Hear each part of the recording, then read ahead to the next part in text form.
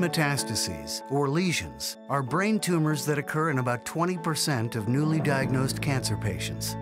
These lesions are typically the result of cancer being present somewhere else in the body. When a brain lesion is suspected, the next step is a consultation with a neurosurgeon, oncologist, or neuro-oncologist to determine treatment options, which usually fall into three categories, surgery, medical therapy, and radiation. And while all three forms play important roles in treating brain lesions, depending on the patient's diagnosis, cutting-edge technology has advanced radiation therapy to deliver a new level of effectiveness, convenience, and hope.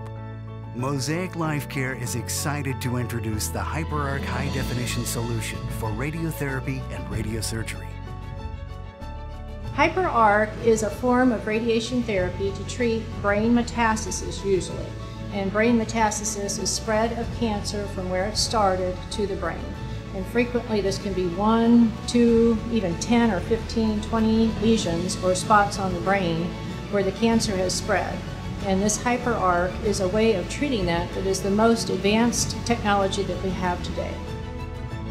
This is very fast, very efficient, and also very safe. And what it allows us to do is treat the areas we want to treat while sparing everything else.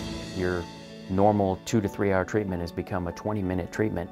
I think that should have a profound effect on the patient experience when they come to see us for care. We can not only hit multiple lesions, but we can hit lesions that are really difficult areas that a surgeon could never reach. And so with this radiation therapy, it's just one sitting. Um, the machine rotates, moves, moves the table, moves the patient. They just stay in one spot, the same spot the whole time. There's no head frame holding their head still. And in about 15 to 20 minutes, you can treat up to 10 or 15 lesions. About 80 to 90% of the tumors will be controlled locally and will not come back where we've treated. It almost renders some cancers a chronic illness like diabetes. With this technology, we give our patients something they didn't have before, and that's more time. Uh, often extending their time from months to even years, and uh, having those years have a quality of life they didn't think they were going to have.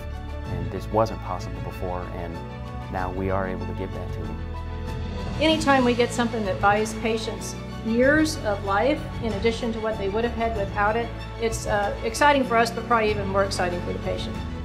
You can't go to another center in the country or in the world and get better care than what you can get right here.